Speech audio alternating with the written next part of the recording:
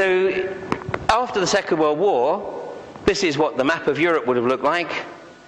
Well, 27 different nations represented there, all responsible for their own, effectively, internal policy, philosophy, lifestyle. But of course, since 1957 and the establishment of the Club of Rome, which was initially an economic cooperation economic cooperative organization, but it has grown into a 27 nation superstate. And right now, a governor of a state in the US has more power, more autonomy, than a prime minister of a European nation. There is more federal law in Europe than there is in the US. And Europe as a federation has been around for well, exactly 51 years, or 50, 50 years, 50 years and six months, isn't it? March 15th, 1957. It's been around for exactly you know 50 years, and there is more federal legislation than the US, which has been around for what 231. But this is only the start of things to come. Because whilst the Europe has been coming together as a superstate, this has been happening in other areas of the world. We have the League of African Nations, the League of Arab Nations, the Asia Pacific Economic Community, the Southeast Asia Economic Community, and the one that's coming really fast down the track is the North American Union.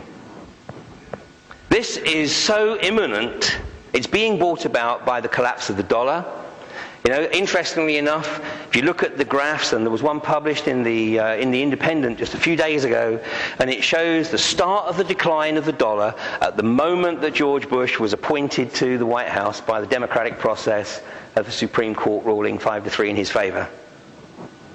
And that's the start of the decline.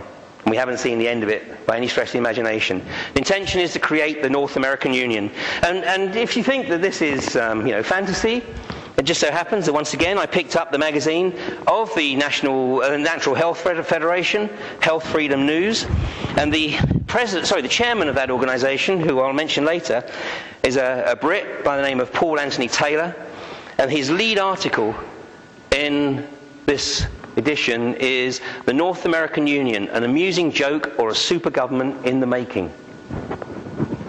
This guy is one of the lead players on the non-government organisation that has rights to participate in the codex process. So if anybody knows what he's talking about and what he's experiencing, it should be Paul Anthony Taylor.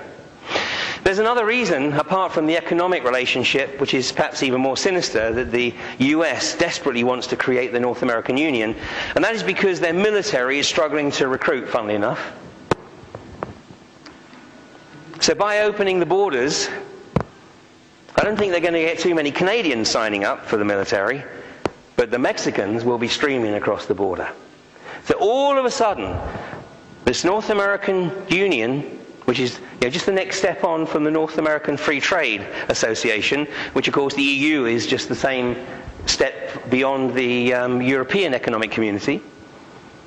Once that happens, then they will have a North American army. And what you'll see is that wherever it is that the US wants to uh, pursue its agenda of hegemony, it'll be mainly Mexicans. The next step is going to be is the merger of the American Union with the EU, making it the most powerful economic bloc, obviously in the world. It will be totally dominant economically, and it will very quickly swallow up all the other trade communities, all under the banner of the United Nations. The symbolism of the United Nations flag is very significant. That grid that's over the top of the world. It's very significant.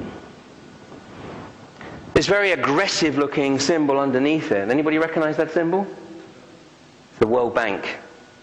The World Bank. And a book that I would highly recommend to you. By the way, I don't usually bring so much of my research material, but with this particular subject, so many people think that this is just fantasy. I thought I have to bring some material so that if you want later on, you can come and have a look for yourselves.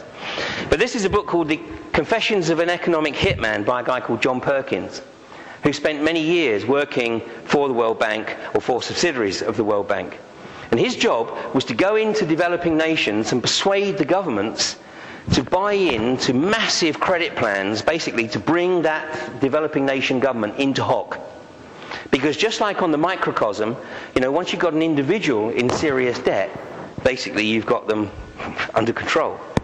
And the same thing with the macrocosm. If you can get a nation into serious debt, then you know you basically have them where you want them. And it shouldn't come as any great surprise to you that there's, some, there's a very common denominator between all the countries that are classified as the axis of evil.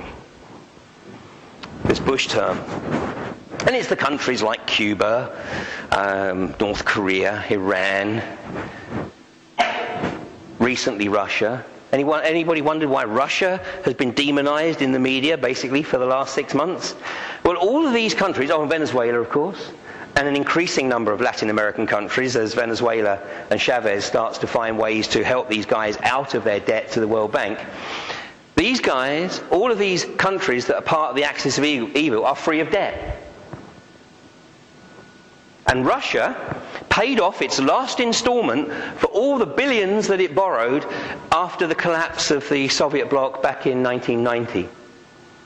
So Putin had actually done an amazing job by appointing the seven ugly sisters, the seven oligarchs, to manage the industrial recovery. Of course, some of those oligarchs got a little bit too carried away and just wanted a bit too much power, and that's why, you know, Putin has a bit of a problem with one or two of them.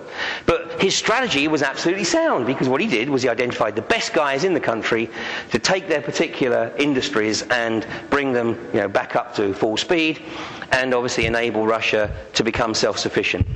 And Russia is in exactly that position right now.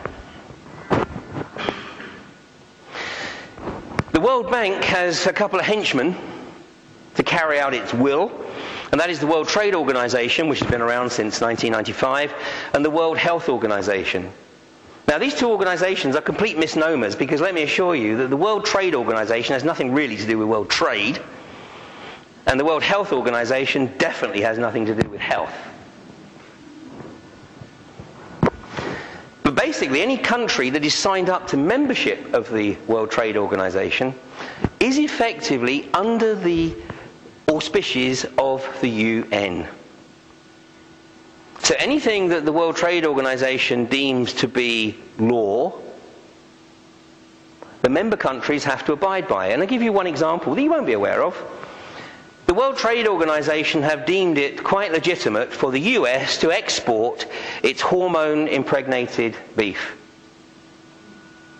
And it sees no reason why any nation, certainly any member nation, should reject the importation of um, uh, contaminated beef, i.e., contaminated with the growth hormone. The EU at the moment refuses to import the American beef so the EU has to pay a fine to the World Trade Organization of 150 million euros a year because we don't want their contaminated beef. And that fine will increase as we continue to, as the EU continues to reject it. Then the fine increases until they can, you know, make the pip squeak, and in the end, they, what they expect you to do is go, "Okay, okay, we take it." Now, who's going to eat it?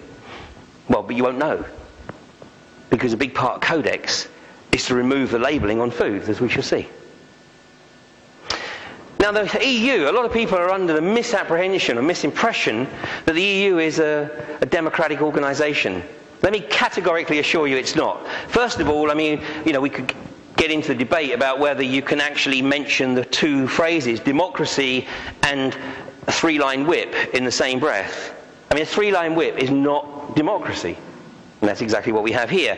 But the EU is even worse. When you elect your MEP, it basically is about as effective as electing your shop steward if you're a member of the trade union. Just as your shop steward, you're electing to represent you to the management, but the shop steward has absolutely, well, not in this country anyway, in Germany and France it's slightly different, but the shop steward has no um, role in terms of determining the strategy or the direction of the company. And this is exactly the case with the MEPs. They are a consultative body. Nothing more, nothing less. They are a consultative body. The real power lies with the trade commissioners.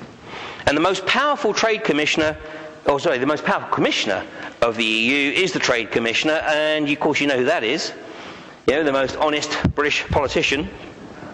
Oh. Yeah, I mean, how many times did this guy get bounced out of the cabinet? It was at least twice, and might, I think he might have got out a third time before he got bounced. But this is the guy with the power to determine what the EU does and doesn't participate in with the World Trade Organization. And needless to say, of course, you know, we're going down, he's taking the EU down that, uh, down that track. And the EU doesn't have a president yet, but in the constitution, you know, it does call for a president, which also will be um, not elected, it will be appointed. And you know who's been promised the presidency? Why do you think he has to convert to Catholicism? There's no way a Protestant can be president of the EU. The EU is a Catholic entity. It's not called the Club of Rome for nothing. So Tony, to become EU president, has to convert to Catholicism. There he is, there he is, just in case you've forgotten what he looked like. And he's out of the country. What is he out in the Middle East now? You know, um, peace peace minister or whatever the title they call him. You know, it's like putting King Herod in charge of the kindergarten. At least there's one good thing about it nobody trusts him.